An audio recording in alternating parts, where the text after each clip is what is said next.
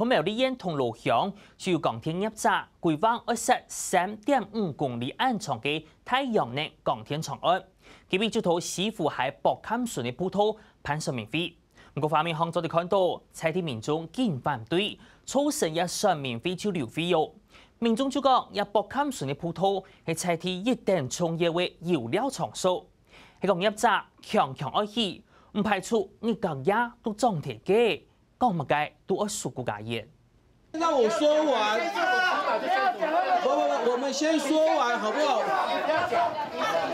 港铁业者向上面钢铁厂案设置计划，地方民众实抗议冇一半讲，现场民众表态反对设置港铁厂案意见过后，即刻离开，先告离飞。大家举手表决，要不要开？不要。好，民意已经表达了，那大家散会。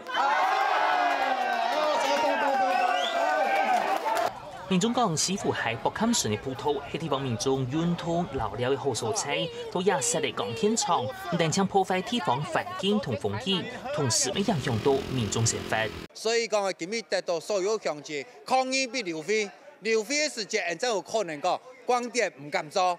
假使讲还在个做，我这边不排除我们光电不撤，我要埋锅造饭。上面为无办法进行，钢铁业者未当无奈何，讲会继续同民众打合来签解决方案。其实这个做出来，我们一开始就是结合公园做的绿电，所以说有有人有人不愿意做这件事情，有人不愿意承认我们是做在公园里面做一个廊道，让大家可以在底下走动休息的地方，这个是非常非常可惜的。似乎係博坎順嘅鋼鐵廠案，入則規劃對竹線橋到長橋梯橋，設立大概三點五公里安長嘅鋼鐵廊土。苗栗政府水利處水利科長郭新思就講，說明非主要係整合地方意見，係講入則冇辦法同民眾有共識，我哋檢討標案，做得繼續做下一步。下新聞由呢苗栗報道。